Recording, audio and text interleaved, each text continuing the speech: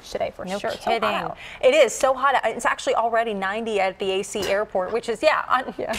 So make sure sunblock is ready to go is the bottom line yeah. here. And also stay hydrated. You know, in the city, we mentioned this earlier in the show, I think you're easily going to hit the 90s here today. Mm -hmm. It's not too humid everywhere okay. anyway, so that's, that's at least, yeah. exactly. So that makes it feel a heck of a lot more comfortable for us. But regardless, we're still going to find the potential for some wet weather. We had talked about that earlier in the show, as well as into the 4th of July itself. And that'll come in the form of very scattered showers or storms from that frontal boundary we mentioned. It's really tough to pick it out on the radar right now, uh, let alone the satellite. But you'll notice if you look closely across north central PA, that little pocket of clouds, that's part of the front we're talking about. That's dropping in from the north. It will drop to our south later tonight, but then get kind of hung up across the mid Atlantic. So that's why we still have the potential for shower or a thunderstorm in our forecast tomorrow.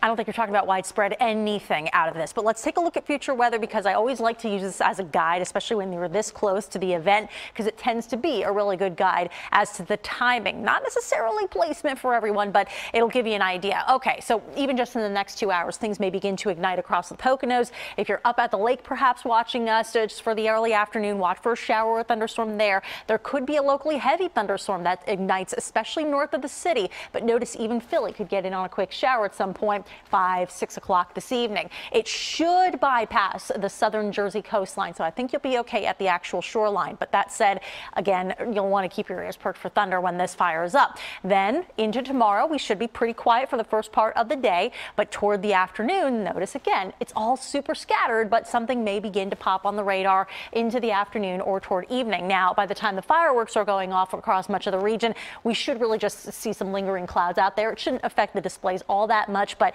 Again, with that frontal boundary so close by, we've got to allow for a shower or a storm.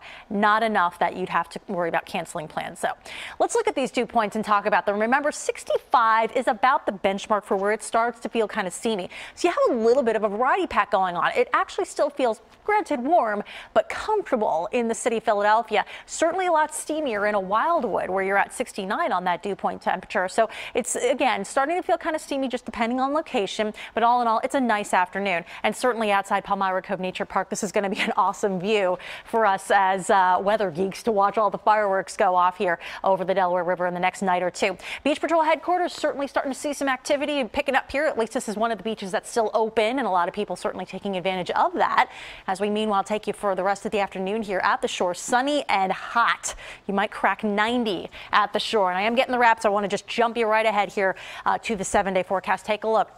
Today's the hottest for sure, but by the week's end, we talked about more of an unsettled pattern. A bigger, more potent system comes along, brings in some more widespread showers and storms by Thursday and especially Friday. All right, Katie, thank you. So yeah. we'll enjoy what we got now. Exactly. Alrighty. well,